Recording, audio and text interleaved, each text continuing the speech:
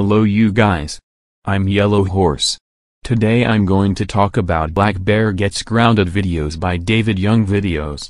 And we made it in 2016. And now goodbye. See you next time.